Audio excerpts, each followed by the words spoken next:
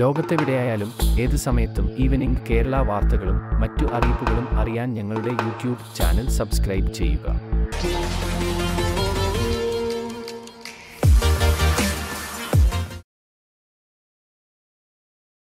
മുൻ എം പിയും നടനുമായ സുരേഷ് ഗോപി ശക്തൻ മാർക്കറ്റിനായി അനുവദിച്ച ഒരു കോടി രൂപയുടെ വികസന പദ്ധതി അട്ടിമറിക്കാൻ തൃശൂർ കോർപ്പറേഷൻ ശ്രമിക്കുന്നെന്ന് ബിജെപിയുടെ ആരോപണം.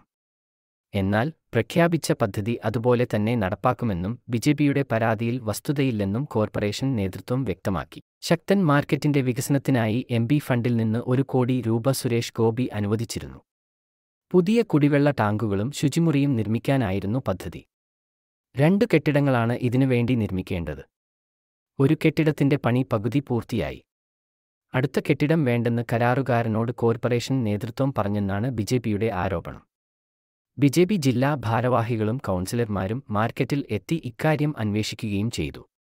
എം പി ഫണ്ടിൽ നിന്ന് സുരേഷ് ഗോപി അനുവദിച്ച ഒരു കോടിയിൽ വെറും അൻപത് ലക്ഷം രൂപ മാത്രം ചെലവഴിച്ചാൽ മതി.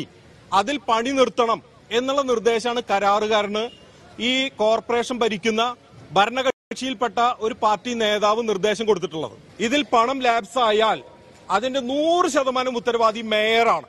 എന്നാൽ ബിജെപിയുടെ ആരോപണങ്ങൾ കോർപ്പറേഷൻ നേതൃത്വം നിഷേധിച്ചു.